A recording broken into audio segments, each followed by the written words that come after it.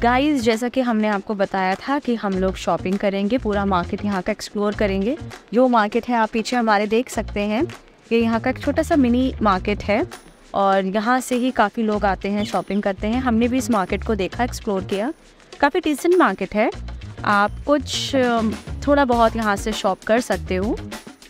Hello guys welcome back to my channel magical honey guys जैसा कि आपने हमारी लास्ट वीडियो में देखा था, हम लोग खजुराहो में हैं। तो ऐसा तो पॉसिबल हो ही नहीं सकता कि हम किसी नई जगह पे जाएँ और आपको वहाँ का मार्केट एक्सप्लोर ना कराएँ। गाइस ये जो मार्केट है, हम लोग मॉर्निंग के टाइम पे गए थे और उस समय काफ़ी बारिश हो रही थी और मौसम बहुत अच्छा था। तो चलिए मैं आपको अपने साथ ले चलती हूँ वहाँ पे शॉपिंग करने। गाइस ये जो शॉप है, ये वेस्टर्न ग्रुप ऑफ़ टेम्पल्स के जस्ट सामने है। राजा कैफ़े के बगल में है। गाइस इस शॉप का नाम सिल्क गार्मेंट्स है। यहाँ का कलेक्शन अच्छा था। यहाँ पर हमने काफ़ी कपड़े देखे थे, जैसे कुर्तीज साड़ीज, दुपट्टे स्काफ स्कर्ट काफ़ी डिसेंट कलेक्शन था यहाँ का। गाइस यहाँ पर हम लोगों ने सिल्क और बैम्बू से बने हुए दुपट्टे और साड़ीज भी देखे थे। नो no डाउट वो काफ़ी यूनिक थे और काफ़ी अच्छी क्वालिटी के भी थे। और गाइस उनकी जो रेट थे वो भी काफ़ी इकोनॉमिकल थे। आप कलेक्शन देख सकते हैं यहाँ पे। बहुत अच्छा और बहुत ही ह्यूज वैरायटी थी यहाँ पे साड़ीज और दुपट्टों की। मैंने भी कुछ अपने लिए शॉप किया था। गाइस बैम्बू और सिल्क की साड़ीज यहाँ पे लोकली बनती है। जिसकी वजह से ये काफ़ी सस्ती थी। गाइस ये जो भैया हम लोगों को डील कर रहे थे, इनसे बात करने पर हमें पता चला कि ये लोग ऑनलाइन भी इनका बिज़नेस है। अगर आपको कुछ भी चाहिए है तो आप इनसे, इनके नंबर पे कांटेक्ट कर सकते हैं, जो कि डिस्क्रिप्शन बॉक्स पे हम इनकी सारी डिटेल्स मेंशन कर देंगे। यहाँ पर हमने मेंस वेयर भी देखा।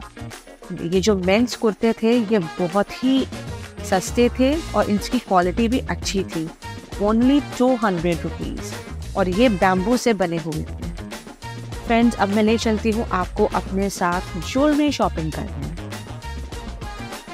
नो डाउट गाइस यहाँ का जो ज्वेलरी कलेक्शन था, वो बहुत ही ज़्यादा एंटीक था। आप जैसा कि देख सकते हैं वीडियो में, हमने वहाँ पे इयर देखे थे रिंग्स देखी थी। सब कलेक्शन मुझे बहुत अच्छा लगा था। मोस्टली हमने जो भी कलेक्शन वहाँ देखा था, वो जर्मन सिल्वर का था और प्योर सिल्वर में देखा था। जर्मन सिल्वर का कलेक्शन मुझे काफ़ी एंटीक लगा था वहाँ पे मस्ट ट्राई ये शॉप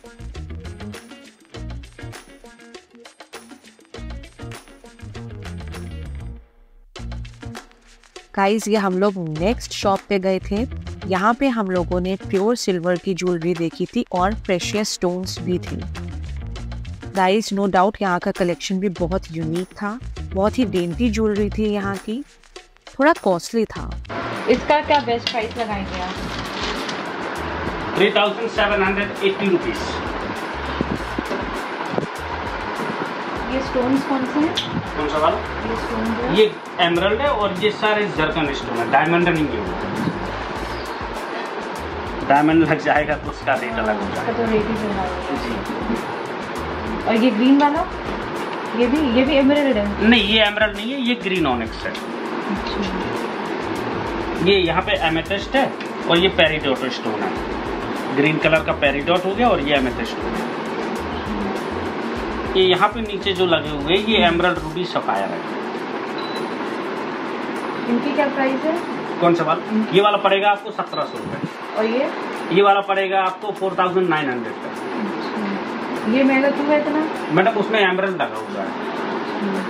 फ्रेंड्स आई होप आपको हमारी ये वीडियो अच्छी लगी हो और हेल्पफुल रहे आप लोगों के लिए जब भी आप खजरा हो जाए। गाइस प्लीज़ हमें सपोर्ट करें हमारे चैनल को लाइक और शेयर करें सब्सक्राइब करें।